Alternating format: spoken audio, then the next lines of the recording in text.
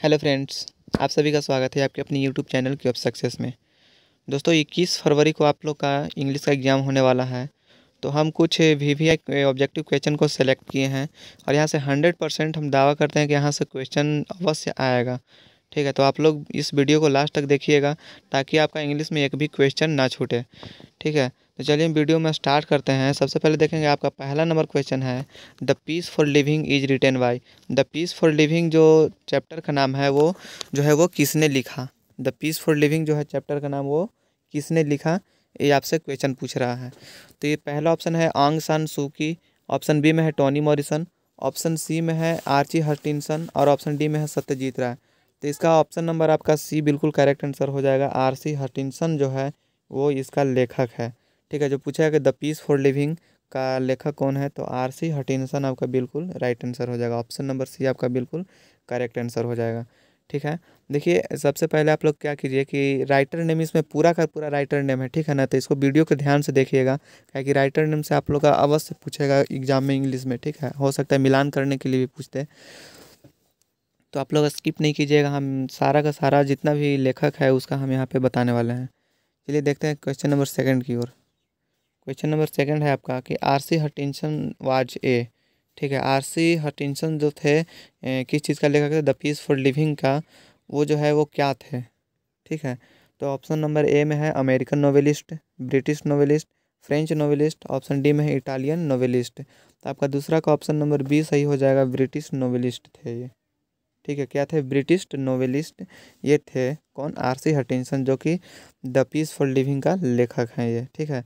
तो option number B आपका बिल्कुल करेक्ट आंसर हो जाएगा। एकदम दिमाग में सेट करते चलिए, ठीक है? ये सारा का सारा आपका हम बहुत ही इंपॉर्टेंट क्वेश्चन है वी सेलेक्टेड क्वेश्चन है, ठीक है? हम हंड्रेड परसेंट कह सकते हैं कि इसमें से क्वेश्चन आएगा ही आएगा। तो आप लोग वीडियो में बने रहिएगा और ध्यान से वीडियो को देखिएगा और एक एक करके आप ना हो, अगर हो सके तो आप लोग कॉपी पे इसको नोट्स भी कर लीजिएगा। चलिए नेक्स्ट क्वेश्चन देखिएगा। Question number third who was cheating the corn merchant ठीक है who was cheating the corn merchant option number A में है his son his nephew his daughter his wife तो इसका तीसरा का ऑप्शन नंबर बी हो जाएगा हिज नेफ्यू ठीक है हिज नेफ्यू जो है वो इसका who was cheating the corn merchant his nephew option number B इसका बिल्कुल करेक्ट आंसर हो जाएगा। ठीक है, चलिए बढ़ते क्वेश्चन नंबर चौथा। चार नंबर क्वेश्चन में how many girls were there in the film film में कितने लड़कियाँ थी? ठीक है, फ़िल्म में कितने लड़कियाँ थी? आपसे क्वेश्चन पूछ रहा है। ऑप्शन ए में है टू ऑप्शन बी में थ्री ऑप्शन सी में फोर ऑप्शन डी में फाइव तो फोर का ऑप्शन नंबर आपका बी सही आंसर हो जाएगा, यानी कि तीन लड़कियाँ थी फ़िल्म में, ठीक है थ्री लड़कियाँ. तो ऑप्शन नंबर बी आपका बिल्कुल सही जवाब हो जाएगा. एक एक को अपने कॉपी में उतारते चलिएगा, ठीक है. चलिए क्वेश्चन नंबर फाइव अगला क्वेश्चन है who is the author of me and the ecology wheat me and the ecology wheat का जो ऑथर है, उसका लेखक जो है वो कौन है? ऑप्शन नंबर ए में है आपका जॉन हचिनसन ऑप्शन बी में है जॉन लग्सू ऑप्शन सी में है टॉनी मॉरिसन ऑप्शन डी में है नॉन ऑफ़ दीज तो ऑप्शन नंबर बी इसका बिल्कुल करेक्ट आंसर हो जाएगा। फाइव का ऑप्शन नंबर बी जॉन लक्सो ठीक है जॉन लेक्सो लक्ष्मी शायद होगा इसका। ठीक है, इसका एक बार देख लीजिए आप लोग किताब में। लेकिन ऑप्शन नंबर बी आपका सही है। जॉन करके कुछ नाम है इसका। यहाँ पे गलत टाइप हो गया है जॉन करके इसका कुछ नाम है ऑप्शन नंबर बी आपका सही आंसर हो जाएगा। चलिए क्वेश्चन नंबर सिक्स देखते हैं। Which route does the author follow which route does the author follow यानी कि कौन सा जो है रूट जो है ऑथर फॉलो करता है। ऑप्शन ए में है फ़िज़िकल रूट ऑप्शन बी में है कम्युनिकेशन रूट ऑप्शन सी है पेपर रूट ऑप्शन डी में है नॉन ऑफ़ दीज तो सिक्स का आपका ऑप्शन नंबर सी सही हो जाएगा पेपर रूट ठीक है? सिक्स का ऑप्शन सी हो जाएगा। सही पेपर रूट जो है वो फॉलो करता है ऑथर चलिए, बने रहेगा इसी तरह से। अगला क्वेश्चन देखिएगा। क्वेश्चन नंबर सात। क्वेश्चन नंबर सात है what type of pollution is created by compost according compost according mister William what type of pollution is created by compost according mister William मतलब मिस्टर विलियम के अनुसार जो है किस प्रकार का पॉल्यूशन कंपोस्ट द्वारा मतलब उत्पन्न किया गया है? ऑप्शन ए में है एयर पॉल्यूशन ऑप्शन बी में है नोज़ पॉल्यूशन ऑप्शन सी में नॉइज़ पॉल्यूशन ऑप्शन डी में नॉन ऑफ़ दीज तो इसका हो जाएगा नॉइज़ पॉल्यूशन सेवन का ऑप्शन नंबर सी आपका बिल्कुल करेक्ट आंसर हो जाएगा, यानी कि नॉइज़ पॉल्यूशन तो ऑप्शन नंबर सी आप लोग याद कर लीजिएगा नॉइज़ पॉल्यूशन होगा। मिस्टर विलियम के अनुसार जो है, किस प्रकार का पॉल्यूशन फैलाया जा रहा था कंपोस्ट के द्वारा? तो नॉइज़ पॉल्यूशन फैलाया जा रहा था। चलिए बढ़ते हैं अगला क्वेश्चन की ओर। नेक्स्ट क्वेश्चन है what did the author do for environment यानी कि पर्यावरण के लिए जो है ऑथर ने क्या किया? ठीक है, पर्यावरण के लिए ऑथर ने क्या किया? ऑप्शन ए में है डूइंग प्लांटेशन ऑप्शन बी में है एवॉइडिंग पॉल्यूशन ऑप्शन सी में है बा by awaring people option D में नन ऑफ़ दीज तो आठ का ऑप्शन नंबर सी आपका बिल्कुल सही जवाब हो जाएगा बाई अवेयरिंग पीपल ठीक है, आठ का ऑप्शन नंबर सी सही आंसर हो जाएगा बाई अवेयरिंग पीपुल। चलिए अगला क्वेश्चन देखिएगा। Question number nine who has written Gillu? Gillu का लेखक कौन है? ठीक है, गिल्लू चैप्टर है, गिल्लू का लेखक कौन है? ये उम्मीद करते हैं आप सभी को पता होगा।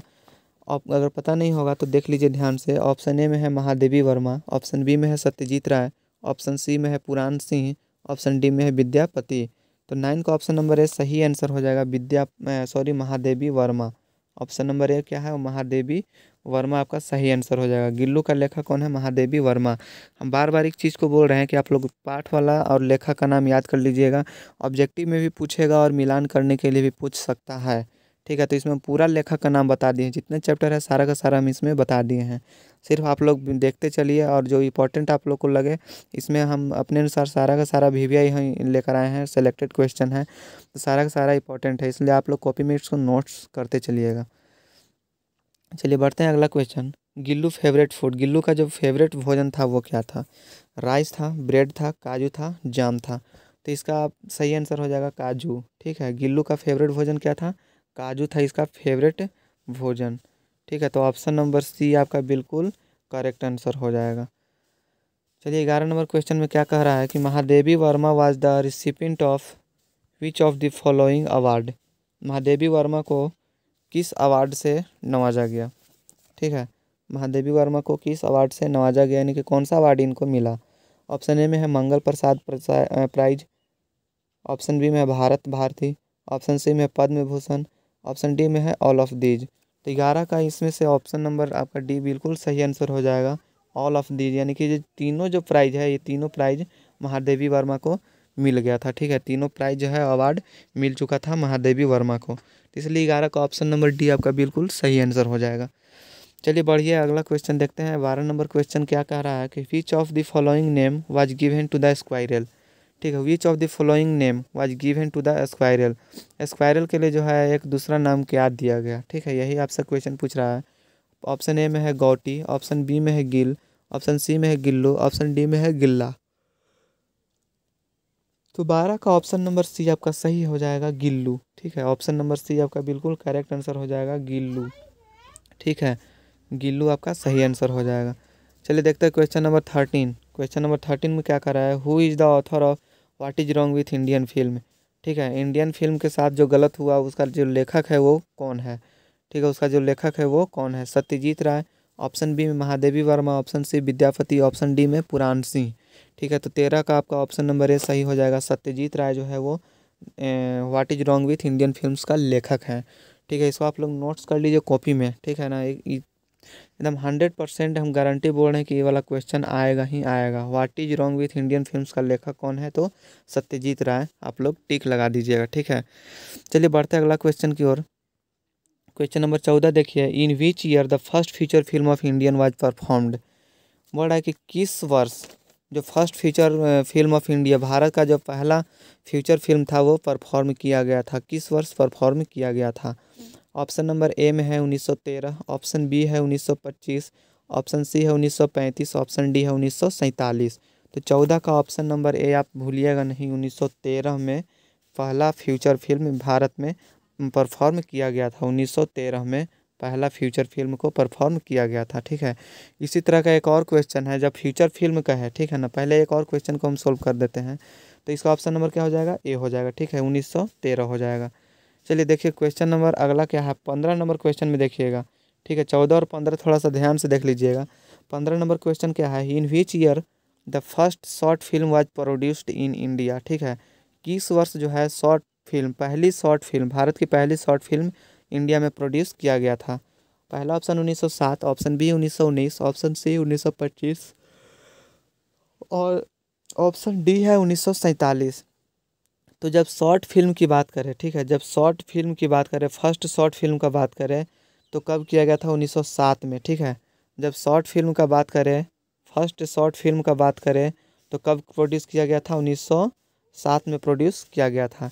लेकिन यही अगर फ़र्स्ट फ्यूचर फ़िल्म की बात करें, फ़र्स्ट फ्यूचर फ़िल्म की बात करें तो ये 1913 में प्रोड्यूस परफॉर्म किया गया था, ठीक है। तो ये दोनों का आप लोग याद रखिएगा, भूलिएगा मत, ठीक है।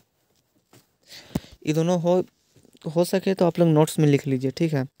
चलिए, अगला क्वेश्चन की ओर बढ़ते हैं। नेक्स्ट क्वेश्चन है सोलह number what does the word mysterious means mysterious का मतलब क्या होगा? उसका अर्थ क्या होगा? मिस्टीरियस का अर्थ जो है वो क्या होगा?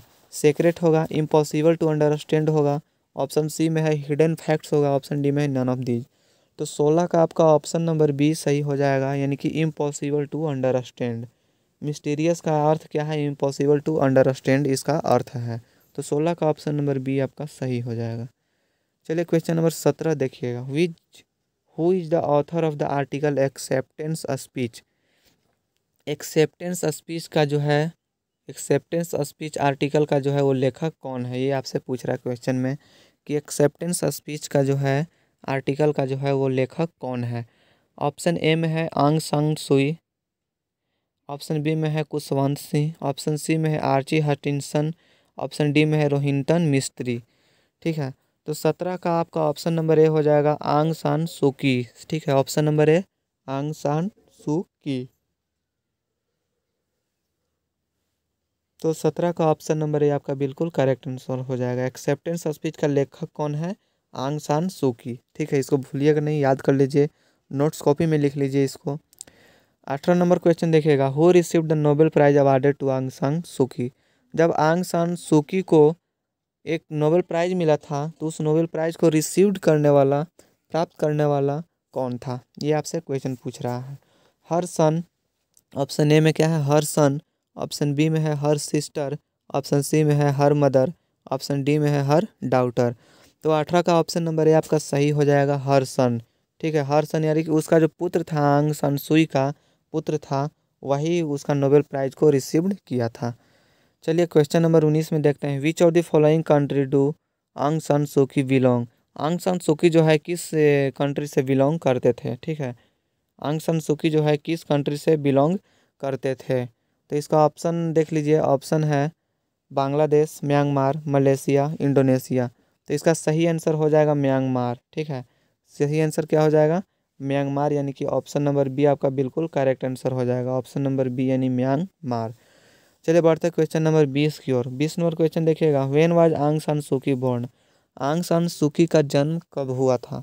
ठीक है, ये भी बहुत इंपॉर्टेंट क्वेश्चन है। ऑब्जेक्टिव क्वेश्चन में ये पूछ देगा आपसे कि आंग सान सुकी का जन्म जो है वो कब हुआ था? तो बीस का ऑप्शन देख लीजिए पहले। ऑप्शन ए में है उन्नीस जून उन्नीस सौ पैंतालीस को।